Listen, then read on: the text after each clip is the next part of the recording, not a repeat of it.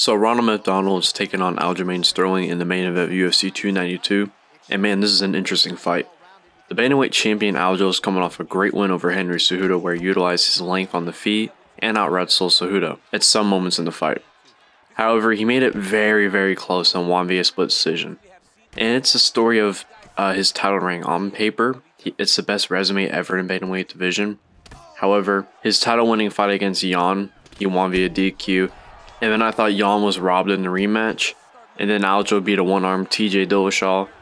And then he barely beat Cejudo. So he really hasn't had a definitive title win in what is four title fights. So that that's crazy actually.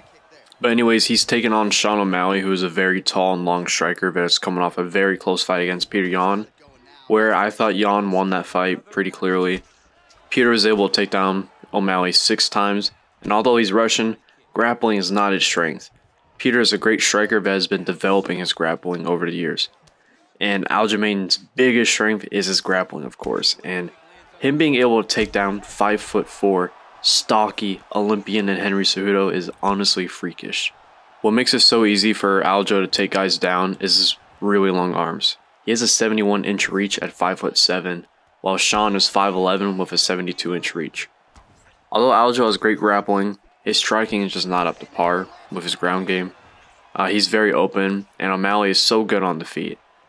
I don't know how, but O'Malley's able to break through um, Yan's super good high guard several times in their fight.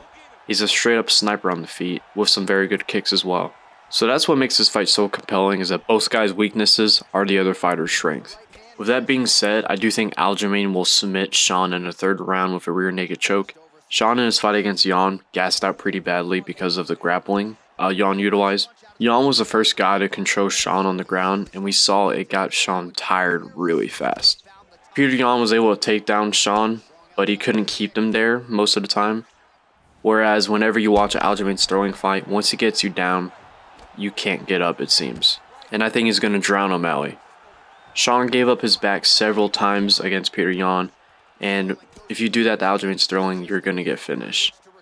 And he's the best human backpack in the UFC right now. So, yeah, I'm going to go with an Aljo uh, third round submission. But hey, I'm just a kid, and this is my opinion.